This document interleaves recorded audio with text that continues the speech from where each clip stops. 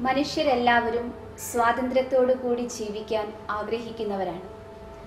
ഏതുപോലെ ഓഗസ്റ്റ് പതിനഞ്ച് നമ്മൾ എല്ലാവരും സ്വാതന്ത്ര്യ ദിവസമായി ആഘോഷിക്കുന്നു.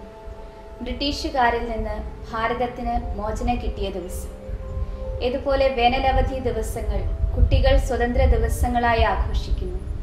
കാരണം ദിവസേന സ്കൂളിൽ പോകുന്നതിൽ നിന്നുള്ള മോചനം. ചിലർ വീടിന്റെ ഉത്തരവാദിത്തങ്ങൾ സംരക്ഷിക്കുന്നതിനെ ഒരു ബന്ധനമായി കാണുന്നു. എന്നാൽ മറ്റു ചിലർ അതിനെ ഒരു സ്വാതന്ത്ര്യമായി കാണുന്നു. അപ്പോൾ നോക്കൂ എന്താണ് നമ്മുടെ യഥാർത്ഥമായ സ്വാതന്ത്ര്യം? യഥാർത്ഥമായ സ്വാതന്ത്ര്യം എന്നത് തന്റെ ഭാവനകളുടെ ചിന്തകളുടെ സ്വതന്ത്രതയാണ്.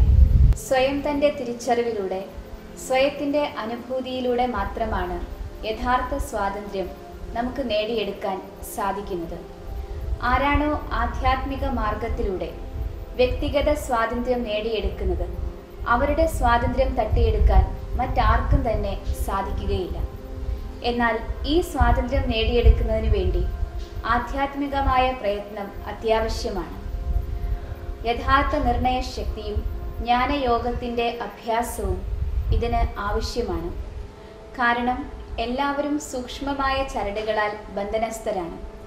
ഈശ്വരന്റെ സ്മരണയും ആത്മസ്മരണയും കൂടാതെ ഈ ചരടുകളിൽ നിന്ന് മുക്തമാകാൻ ആർക്കും തന്നെ സാധിക്കുകയില്ല. ഒരിക്കൽ മഹാത്മാ ബുദ്ധൻ തന്റെ ശിഷ്യന്മാരോടൊപ്പം വഴിയിലൂടെ നടന്നു പോവുകയായിരുന്നു. ആ സമയം ഒരു ഒരു പശുവിനെയും കെട്ടി വലിച്ചുകൊണ്ട് അതിലൂടെ വന്നു.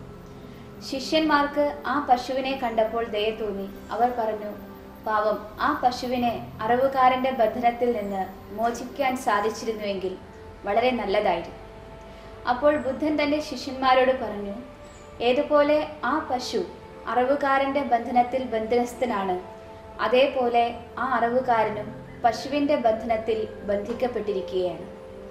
ഇങ്ങനെ സംസാരിച്ചുകൊണ്ട് നിൽക്കുമ്പോൾ അറിവുകാരന്റെ കയ്യിൽ നിന്ന് പശുവിന്റെ ചരട് അയഞ്ഞു പശു അതിവേഗത്തിൽ ഓടാൻ തുടങ്ങി.